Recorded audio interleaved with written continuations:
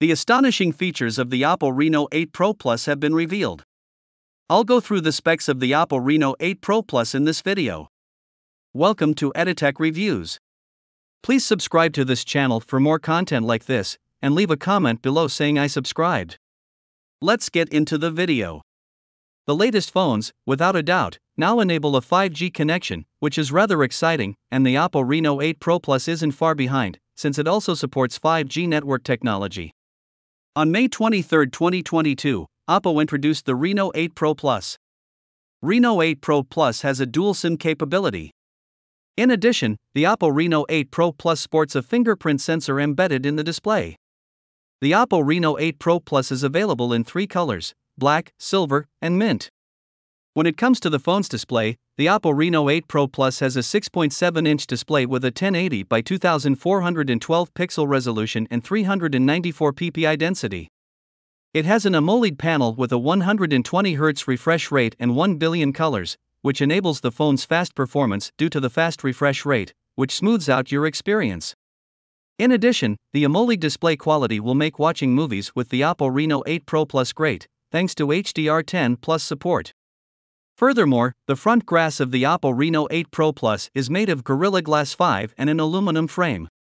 Meanwhile, the Oppo Reno 8 Pro Plus measures 161.2 by 74.2 by 7.3 millimeters in body dimensions and weighs 183 grams, making the phone's overall size more comfortable to handle. The Oppo Reno 8 Pro Plus has an octa-core CPU and a MediaTek Dimensity 8100 Max chipset for performance. The Oppo Reno 8 Pro Plus is powered by the Mali G610 MC6 graphics processing unit and runs ColorOS 12.1, which is based on Android 12. On the Oppo Reno 8 Pro Plus, you'll enjoy playing games and performing intensive chores. The Oppo Reno 8 Pro Plus has 256 GB of internal storage and either 8 GB or 12 GB of RAM. The Oppo Reno 8 Pro Plus, on the other hand, lacks a micro SD card slot.